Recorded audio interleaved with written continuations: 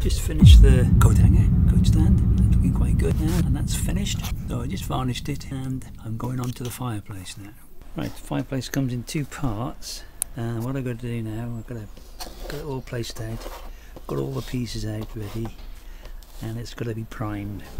It's white primer, so what I'll do now is prime these, and I'll get back to you. There we go primed them all now so I've got to leave that there. Let it dry and then I'll come back and uh, give them another coat and rub them down and then we'll be able to stick everything together. Just um, sticking the fireplace together now. I've done the bottom bit trying to fill in uh, all the little bits gaps. It's just that won't be seen at the back. Fill the gaps in the top. That's the chimney breast at the moment being so all I'm going to do now get a bit of filler and just fill the little gaps in like see that bit there? And I'm going to fill that when I've tried to fill that in now I'm going to do that. A bit flimsy these sides are so what I've done I've made some blocks stuck them on. I'm going to put these on here file them up a bit stick them onto there like that like that one.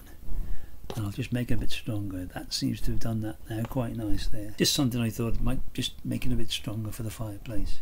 I'll just get back to you in a minute and uh, right we've um, done all the fill all the bits in now on the fireplace. What I'm going to do now is just give it another coat of primer before we put the final coat on. Get on with that. And we've also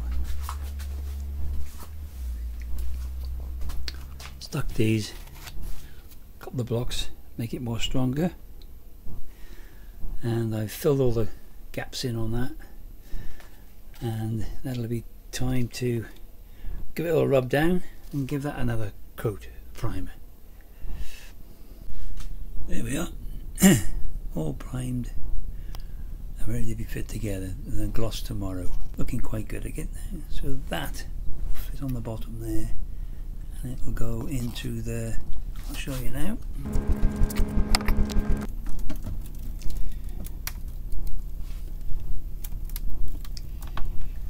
the back wall on the back wall there of the sitting room. Or I can put it there, I don't know, but I think it goes along the back.